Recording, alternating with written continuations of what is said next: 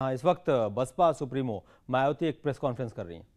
परंतु उनकी नज़र में मेरा शासनकाल हर मामले में व हर स्तर पर काफ़ी बेहतरीन रहा है।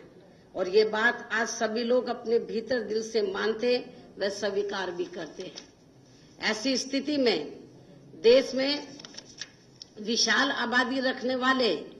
उत्तर प्रदेश जैसे इस बड़े राज्य में विकास व अपराध नियंत्रण बेहतर कानून व्यवस्था, कानून द्वारा कानून का राज, अमन चैन व सांप्रदायिक सौहार्द को पुनः बहाल करने के साथ साथ यहाँ उत्तर प्रदेश में सभी प्रकार के गुंडों,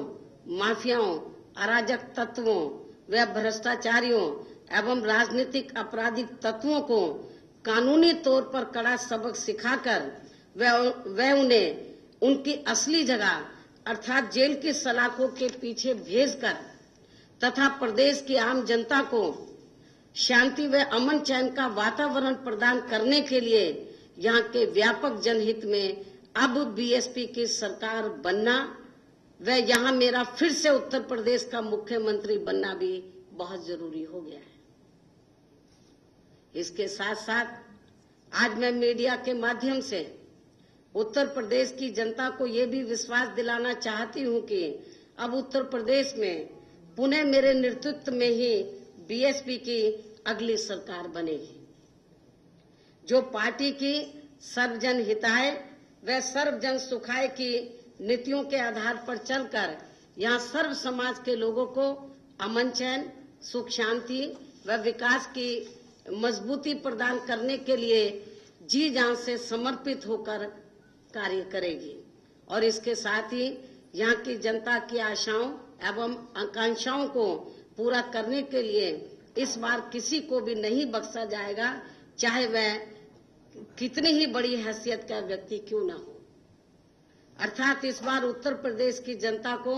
हर मामले में वे हर स्तर पर, हर हाल में फिर से मेरे नेतृत्व में एक बेहतरीन सरकार ज़रूर दी जाएगी। और अब अंत में उत्तर प्रदेश में बाढ़ के विकराल रूप को लेकर यहाँ बड़े पैमाने पर जान माल, सड़क व रेल आदि की हो रही बर्बादी के बारे में हमारी पार्टी का ये मानना है कि ये सब कुछ सपा सरकार की घोर लापरवाही का ही ये नतीजा है। और इस संबंध में ये सभी जानते हैं कि नदियों की साफ़ सफ़ाई, बाँध व तटबंधों आदि के निर्माण व इनके सही रख रखाव में जो यहाँ बड़े पैमाने पर सरकारी लूट व भ्रष्टाचार इस सरकार में हुआ है, उसी के कारण ज़्यादातर यहाँ बाढ़ काफ़ी विकराल रूप लेकर यहाँ जान माल व सरकारी संपत्तियों की बड़ी तबाही की मुख्य वजह बनी हुई है। ऐसे में केवल दिखावे के लिए दो चार अधिकारी व इंजीनियर आदि का निलंबन आदि करना काफ़ी नहीं होगा। और इतना ही नहीं बल्कि लाखों बाढ़ पीड़ित परिवारों की समुचित सहायता के लिए भी सपा सरकार यहाँ आगे न आकर लगातार निष्क्रिय ही बनी हुई है। इस कारण भी बाढ़ पीड़ितों का कष्ट और भी ज़्यादा बढ़कर जानलेवा साबित हो रहा है। जबकि इस मामले में उत्तर प्रदेश सरकार को हर स्तर पर व हर प्रकार की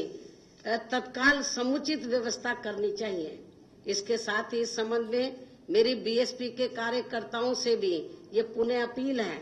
कि वे बाढ़ पीड़ितों को राहत पहुँचाने में हमेशा की ही तरह या मानवीय दृष्टिकोण अपनाते हुए बाढ़ पीड़ित लोगों की भरपूर मदद करें।